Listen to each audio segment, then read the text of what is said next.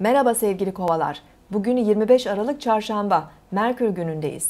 Yeni şeyler öğrenerek bakış açınızı genişletmek, düşünce şeklinize yeni bir biçim vermek istemeniz mümkün.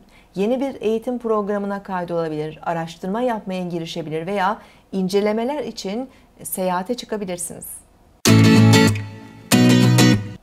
Burcunuzu dinlediniz. Bugün 25 Aralık Çarşamba, Merkür günündeyiz. Başak Burcu'nda ilerleyen ay sabah 5.55'te Venüs ile üçgen açı yapacak ve ardından boşluğa girecek. Ay 8.20'de Terazi Burcu'na geçiş yapacak. Gün içerisinde ilişkilerde denge ve uyum arayışı öne çıkabilir.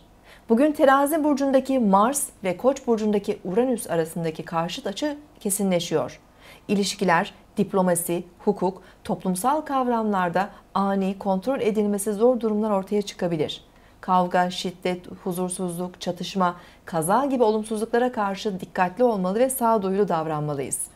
Gece saatlerinde Ay-Mars kavuştuğunda bu etkiler artabilir ve ruhsal olarak daha huzursuz ve gergin hissedebiliriz kendimizi.